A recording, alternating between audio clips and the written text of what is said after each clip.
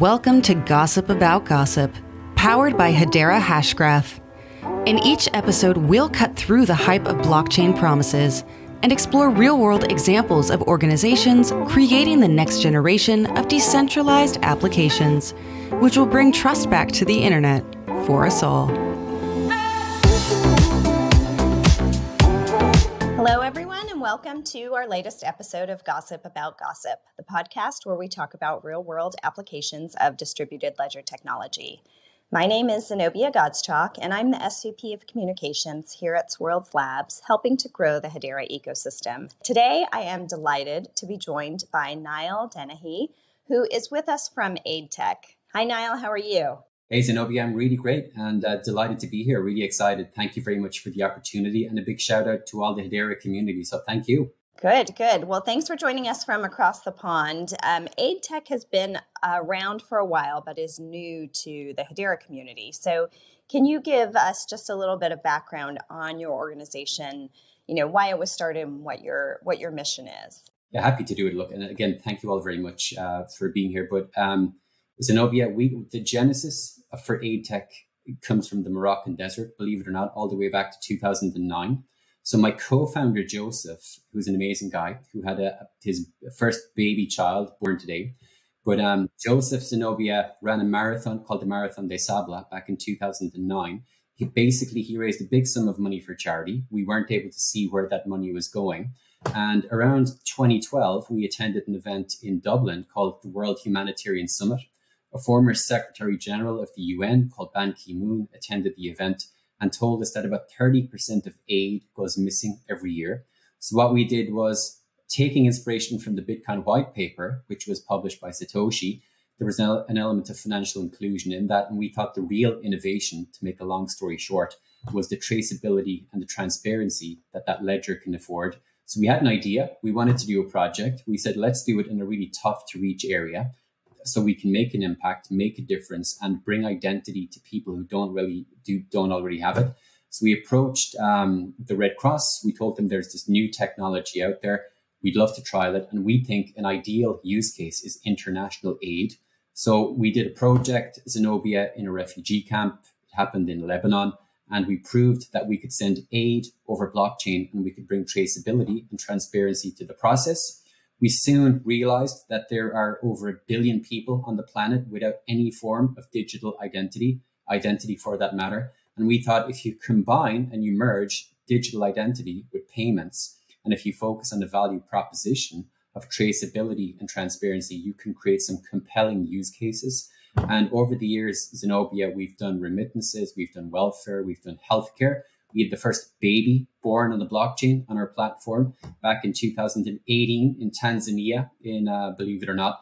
And we're really excited now to bring all of the learnings, all of the enthusiasm, all of the energy, and more importantly, the applications uh, to Hedera. And we're we're building a really, really, really exciting application in with Hedera that's focusing on financial inclusion. It's initially going to be rolled out in the Philippines, but we're targeting more broadly Southeast Asia to expand that. And what it is, it's a digital wallet aimed at financial inclusion. And we're partnering with a number of different organizations, including Save the Children, to enable disbursements, which include welfare, payments, remittances, and integration with their local financial um, service providers to really bring financial inclusion. And um, it's been a great experience with Hedera so far. In particular, uh, I'd love to give a quick shout out to Sabrina uh, from the HBAR Foundation, to Elaine, those guys have been incredible, particularly uh, Sabrina, and really, really enthusiastic to be part of the Hedera ecosystem and um, really appreciative of the support and love the technology, more important. Good, good. Well, I mean, I, you know, I love to hear this. Obviously, um, you know, there are certain use cases that make it so worthwhile and so exciting for us to get up in the morning and continue to do this work. And this is certainly one of them. Um, you shared a lot there. I want to unpack a few things um, as a mom, when I hear, you know, the first baby born on the blockchain, I say, wait a minute, what does that mean? Um, can you walk our listeners through that? Because that seems a heck of a lot easier. happy, happy to do it. So, uh, purely by chance, Zenobia, we got connected up with a Dutch NGO um, through the German government. And we found that, again, focusing on the SDGs and the mission that we've been on for a long time, uh, we were alerted to the fact that Sustainable Development Goal Target 3.2, which is to increase the health and well-being of newborn mother of, of mothers and their newborn children, and to reduce the rates of neonatal mortality, was something that around the world, when you look at it, was a big problem. And when it came to that Zenobia, what we found was oftentimes it meant that the women who were having babies sometimes in developing countries didn't get the prenatal, the postnatal, the antenatal treatment that they required. And when we looked at developing countries, Tanzania being a point in case, we worked with the German government down there and we found that oftentimes it was a seven, eight hour, sometimes more journey for the women to visit a healthcare clinic to get the entitlements that they needed, things like iron tablets, folic acid, you name it. Um, and what happened was, and this is what we like about Hedera too, and to go off in a tangent, there was literally a ledger sitting on a table that recorded the entitlements that the, the women received as part of their journey. The, the problem was that they oftentimes didn't show up on the right day because they didn't have technology in place to alert them before. And so what we did was working together with the healthcare provider, integrating with the solution they already had was create a smart contract which reminded the women to show up to clinic. They received an SMS to their phone.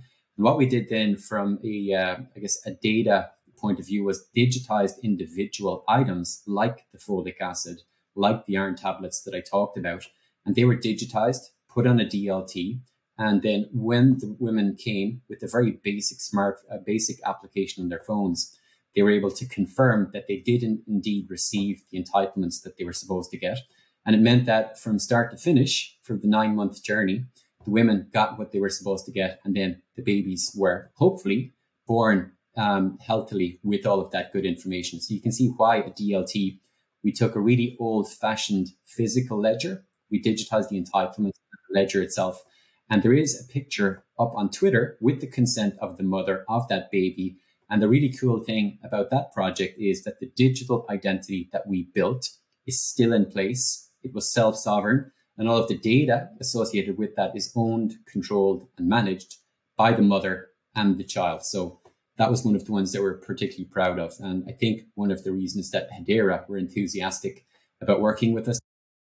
Amazing. Yeah. And, you know, as you may know, our, our, our founders and a lot of our team come from that identity background. And I think this is a problem that people have been trying to solve for ages, right? The ability to give identity to various groups of people, um, but also to make it uh, cost efficient. And, you know, I think there's some uh, multiple sort of themes coming together here, right? In terms of early on in adoption of cryptocurrencies, people thought about, gosh, it's really expensive to do these kinds of things. And, you know, this will exclude people financially this is really flipping that model on its head and saying, you know, you can include them and you can include them in a way that is so much more holistic than just a, you know, a single piece of their identity.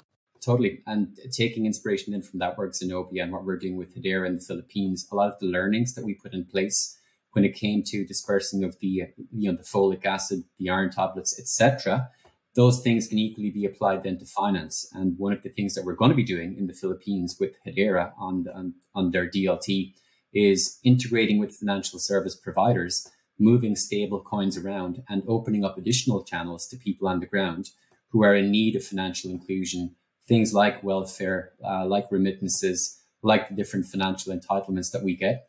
And we've been speaking recently with some amazing introductions from the HBAR Foundation to a government body um, who have around 3 million coconut farmers in Philippines. And what we've been told is that they, in effect, through the, the connections they have with the community, affect about 10x that. So 30 million people in the Philippines are in wow. some way connected, affected, or associated with coconut farming.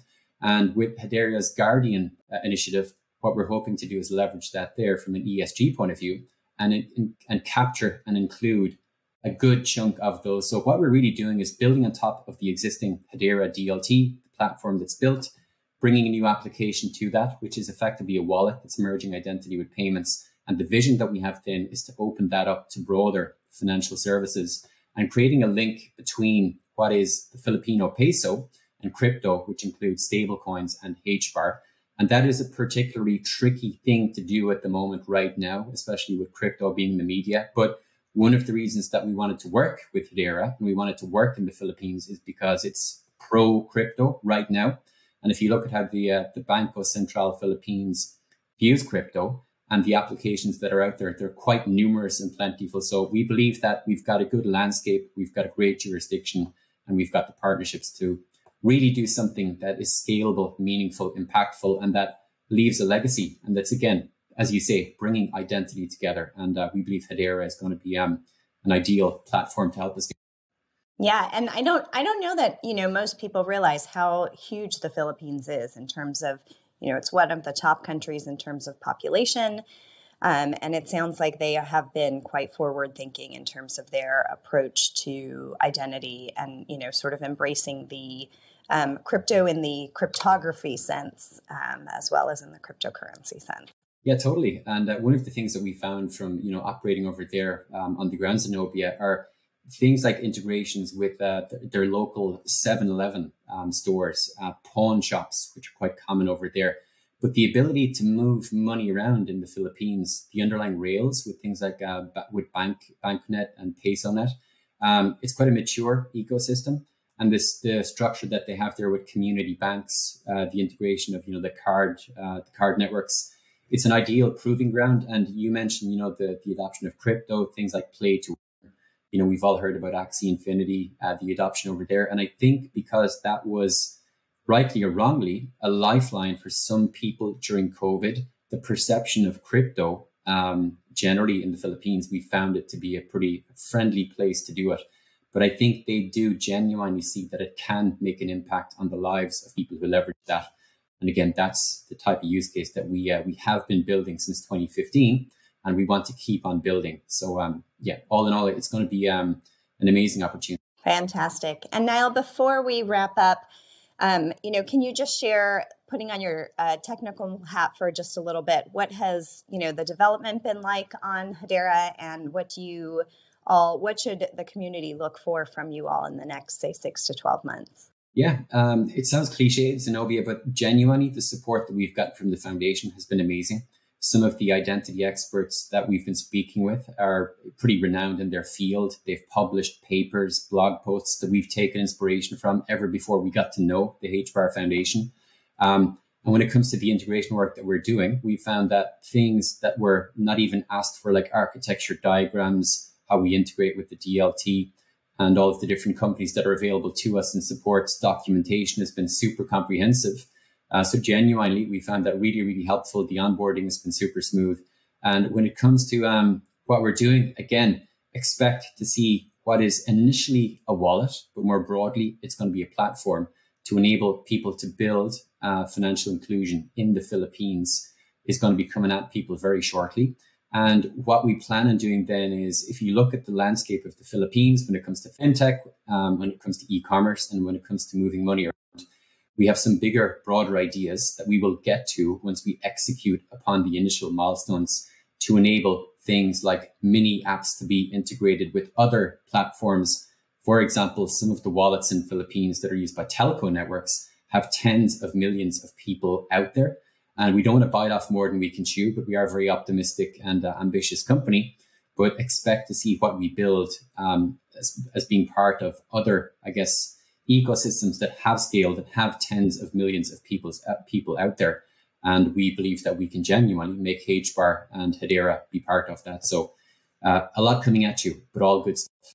Great stuff. Um, Niall, if people want to learn more about you, where should we point them? Um, you can look up our, our Twitter, which is Aid Technology. Um, our website is aid.technology.